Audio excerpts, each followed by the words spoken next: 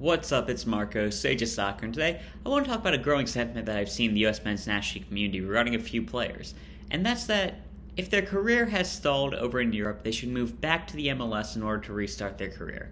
I've seen this regarding Matthew Hoppe mostly recently, but I've also seen it with players like Nicolas Gioacchini and Ethan Horvath, and I really don't understand this thinking at any level. I understand how the fan base feels because if you aren't playing week in week out and the club doesn't really see you as a value commodity, I can understand wanting a player to get out after we've seen cases like uh, all of the LA players who went over to Europe recently, like Kobe Foster Hernandez.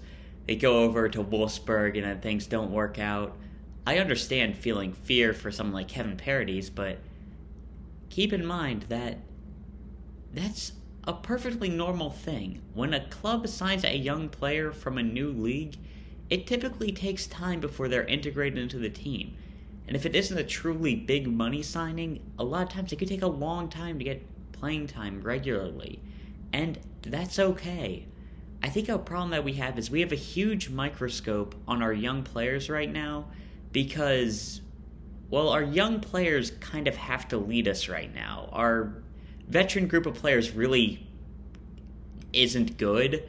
So when you have someone like Ricardo Pepi, who might just be our best striker at 18, 19, when he's not playing much in the Bundesliga, that's kind of that's a big deal to us. But when you take a step back and look at okay, what 2003 players are playing regularly in the top flight of football for, let's say, a country like England? Jude Bellingham, a world class talent, Harvey Elliott, and my man Carney from Aston Villa, whose last name I'm not going to try to pronounce right now. That's three guys playing regularly in the top flight.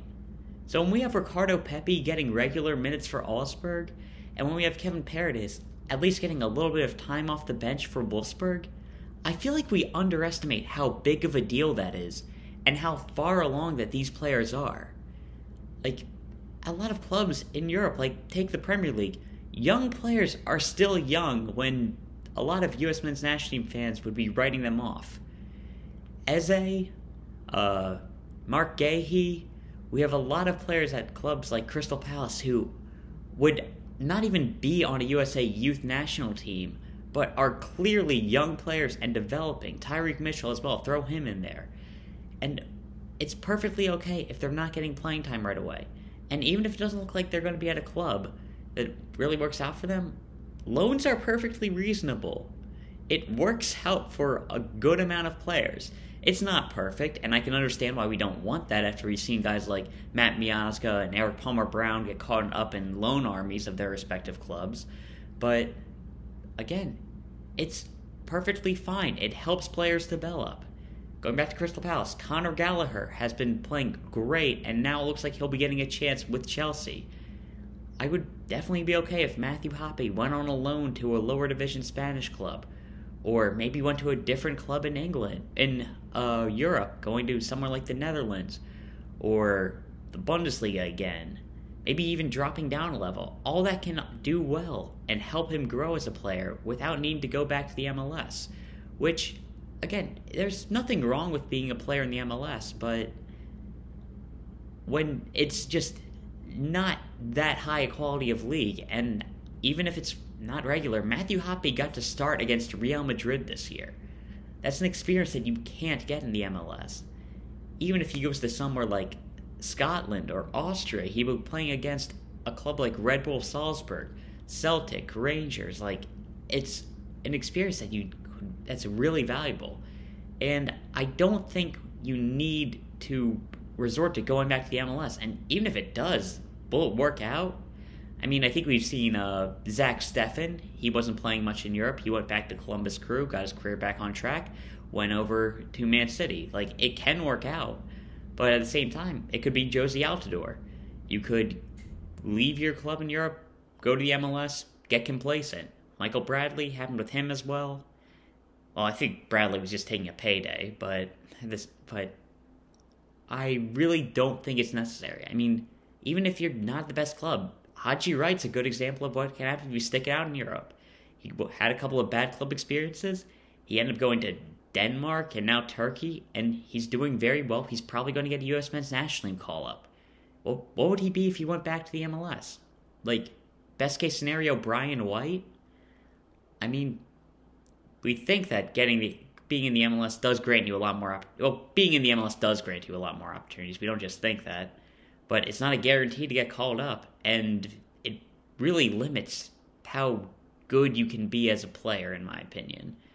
I think we see a bit of a quality cap in the MLS, and a lot of the most talented players in the league are really just there for a paycheck. So know, that's besides the point. But what I just wanted to say is that keep in mind that for someone like Matthew Hoppe, he's a young player at Mallorca going through an injury riddled season, and he's consistently making the bench. He's not being frozen out of the team.